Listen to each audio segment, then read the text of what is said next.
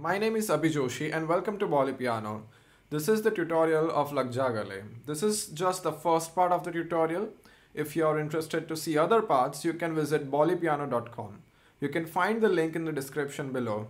Also, you can find other important links like the sheet music as well in the description. Okay, so first let me play and demonstrate what we are going to learn in the first part and then we will talk about what's going on in the song. Alright, so it goes like this.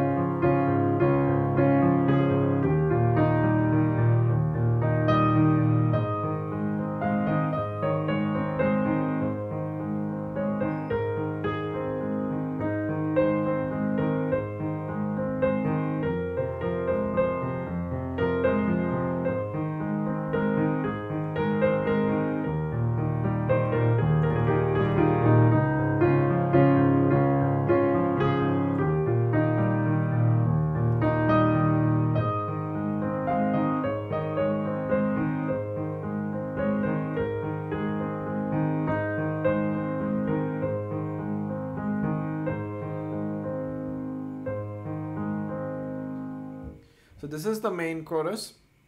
And then we have other section as well the bridge section uh, and there is there are different verses as well which we will discuss in other parts. And of course if you're interested to see those sections you can go to the second and third part. So right now let's talk about this song. So first of all uh, beautiful song. It's um, very simply arranged by me.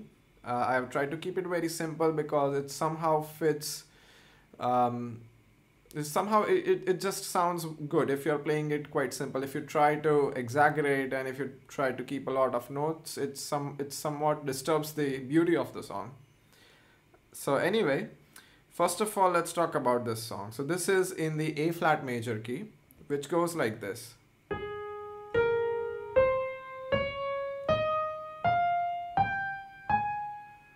And the chords that you can expect First of all, the tonic triad, the most important one, the A flat major chord.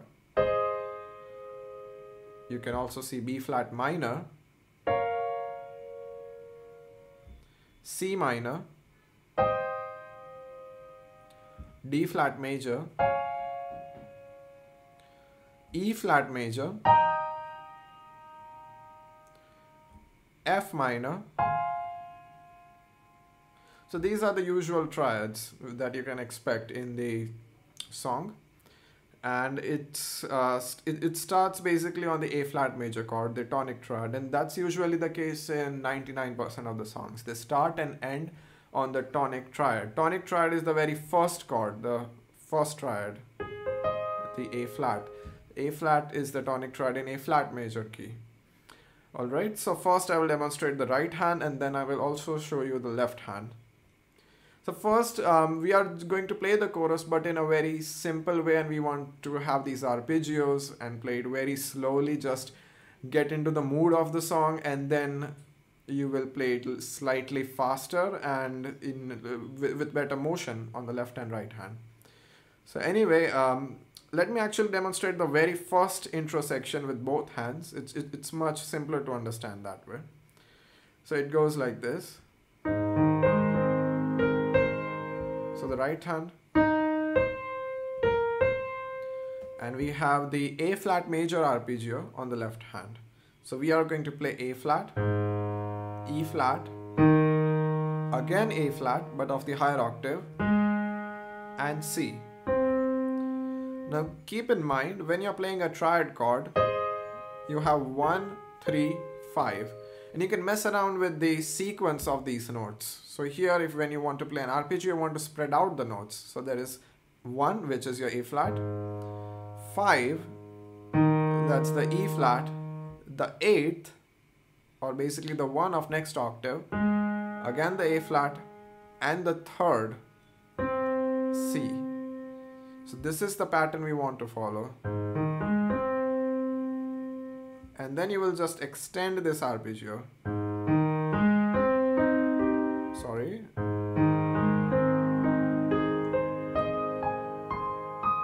So you see I just spread it out the A flat major chord. And then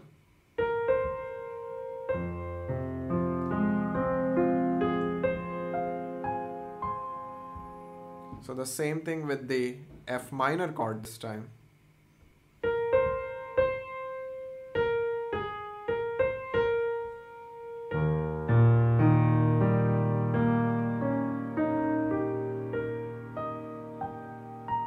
So the same fashion, the same style of arpeggio. I'm not changing the style. It's exactly the same, but now with different chords that we discussed in the in the beginning. So this is the fifth chord, the E flat major chord. But uh, in uh, in a lot of songs you will have the E flat seventh chord. So basically E flat seventh is so that the, this D flat is basically the seventh note in the scale. So this was the scale. And if you count from E flat, just counting the notes that are a part of scale, the D flat is the seventh one. So E flat major chord with a seventh, which makes a dominant seventh chord or just the seventh chord. And it sounds really beautiful and it, it has that bittersweet vibe.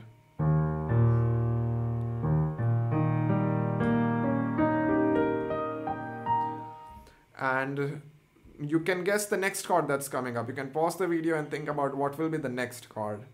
Now you don't need to know the song, but this is a very this is a very generalized theory that when you have a dominant seventh chord, you want to go back to the tonic triad. So tonic triad in this case is the A flat, right? And we will leave it hanging on the E flat seventh, and then we will start with the with the original pace of the song. So anyway, this is how we will finish and go to the next section.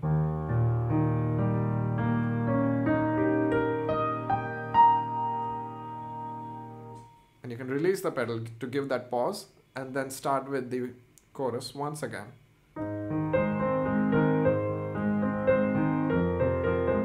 Anyway, first let's have a look at the right hand.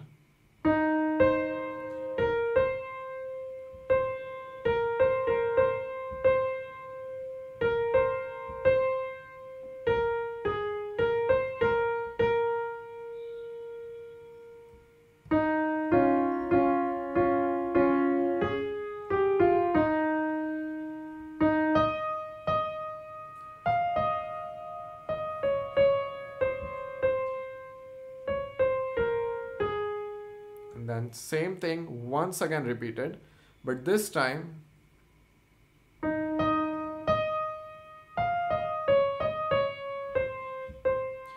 so uh, this this song is sung by Lataji and uh, I have seen her performances and she likes to improvise while singing. So sometimes it's something like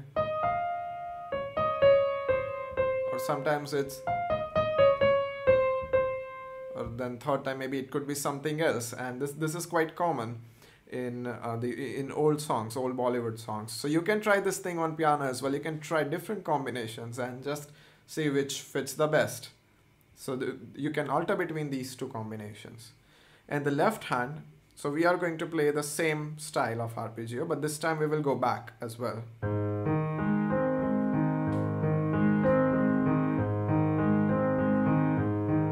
this is the A flat, then you go to F minor,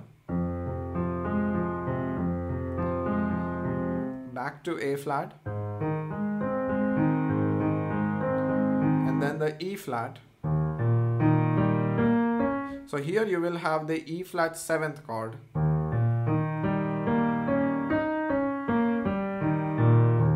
I will again play it slowly so that you can catch on how it's the E flat, the E flat 7th.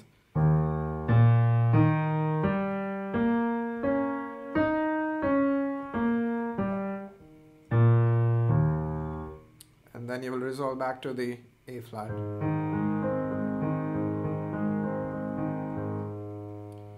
Right, and so it's it's repeated once again but with with slight changes. Okay, so let me play it one more time, the main chorus, both the combinations, just to give you a feel of how it, it should sound.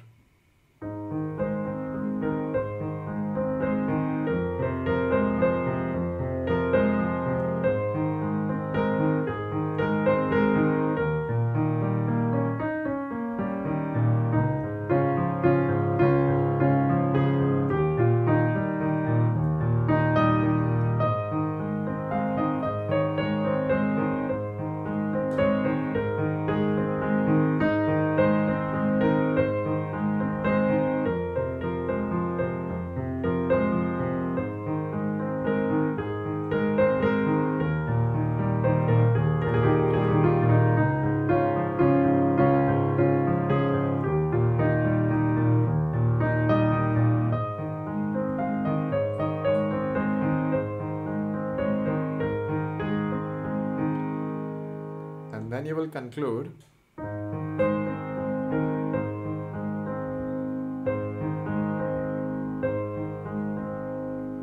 Right so here in between you saw the part where I did. So this is again a part of improvisation which you can do while playing because it's also done in singing. So anyway this was the first part. Now if you are interested to see other parts you can go to part 2 and part 3 which is on bollypiano.com Thank you for joining and see you in the next part.